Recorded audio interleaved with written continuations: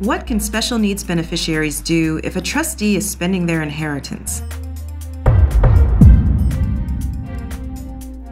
So I'm assuming when we're talking about special needs beneficiary, we're talking about the creation of a special needs trust. And a special needs trust is a very particular type of trust. And it's a type of trust that allows people who are getting governmental assistance because of disabilities to continue to get that assistance and not have that destroyed by receiving an inheritance. And instead, the Special Needs Trust uh, puts limitations on what can be spent on that beneficiary, and it can't be necess- necessities of life. It has to be something beyond that. So, what do you suggest, Stewart, if you have somebody who has the, the special needs trust and a trustee is, is just spending the money?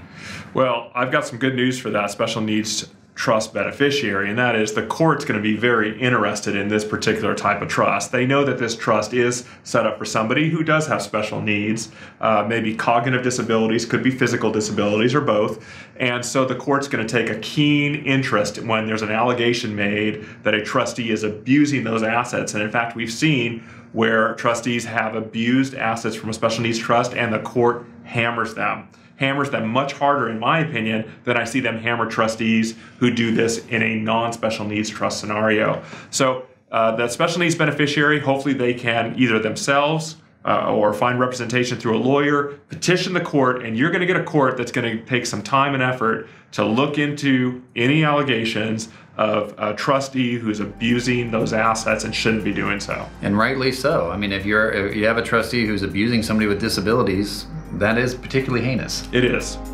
Albertson and Davidson is here to help you fight for your inheritance. Check out aldavlaw.com for our complete library of helpful legal videos and articles from your favorite California trust and will litigation law firm, Albertson and Davidson LLP.